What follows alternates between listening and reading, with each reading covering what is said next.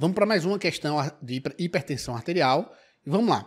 Com relação à medida ambulatorial de pressão arterial, é incorreto afirmar. Então, mais uma vez, quando a gente está diante de uma questão que perde o incorreto, a gente sempre vai grifar para que a gente não perca uma questão, pelo menos por um erro de interpretação. Então, ele quer a errada. Letra A. A mapa fornece leituras de pressão arterial durante a vigília, durante o sono e geralmente também traz medidas de pressão arterial da média das 24 horas.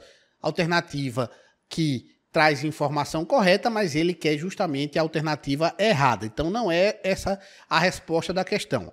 Letra B. Como critério de exame de qualidade adequada, é necessário um mínimo de 16 medidas válidas durante a vigília e 8 medidas válidas durante o sono. Essa alternativa é uma alternativa que traz uma informação correta para dizer que realmente essa mapa traz uma medida de pressão arterial, informações adequadas, eu preciso que existam pelo menos 16 medidas válidas durante a vigília e pelo menos oito medidas válidas durante o sono, porque existe a possibilidade de o paciente se mobilizar, se mexer durante a medida e aquela medida não trazer uma medida fidedigna. Às vezes traz ah, medidas muito altas de pressão, que é quando o paciente mexeu o braço, está dirigindo, está fazendo alguma movimentação. Então é importante para que a mapa seja considerada uma, um exame com informações adequadas, eu preciso de pelo menos 16 medidas durante a vigília, oito medidas durante o sono. Então não é essa alternativa que ele quer, porque a informação está correta. Letra C.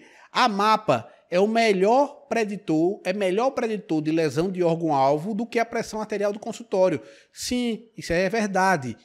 A mapa traz um número maior de medidas e ela traz qual é a, o status pressórico daquele paciente na maior parte do dia dele. Então, sim, as evidências mostram que a mapa traz uma correlação maior do que a PA do consultório quando a gente está avaliando lesão de órgão-alvo. Então, é uma informação correta, não é a alternativa que ele pede na questão. Letra D. Portadores de descenso noturno atenuado apresentam queda de pressão arterial, da média das pressões, da pressão arterial durante o sono, de uh, menos do que 5%. Então, ele cai menos do que 5%. Essa informação está correta?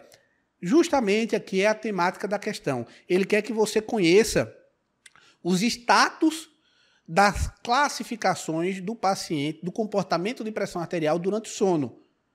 A gente considera que o paciente tem um descenso noturno adequado quando a pressão arterial cai durante o sono a, em torno de 10 a 20% da média das pressões arteriais. Então, durante o sono, é normal que o paciente tenha queda de pressão arterial. Todo mundo cai a pressão arterial durante o sono. Se essa queda de pressão arterial é de 10 a 20%, eu estou diante de uma, um descenso noturno normal.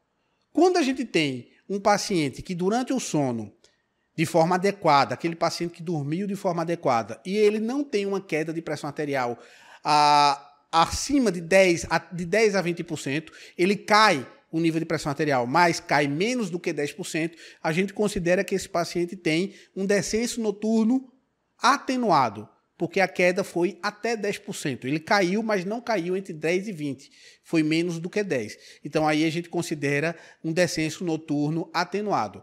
Porém, aquele paciente que quando ele dorme apresenta um descenso noturno acentuado, uma queda de pressão arterial maior do que 20%, e isso também tem relação com pior prognóstico. Isso também é ruim.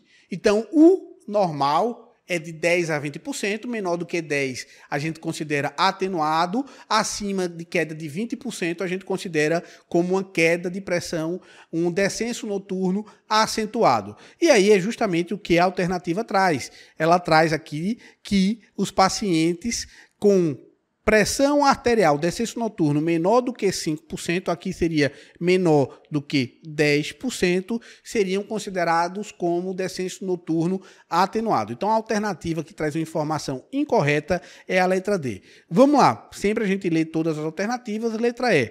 As evidências sugerem que portadores de descenso noturno acentuado, queda de PA média durante o sono maior do que 20%, apresentam risco cardiovascular aumentado. Sim, a gente viu exatamente isso. Então, a resposta da alternativa, a resposta da questão é justamente a letra D.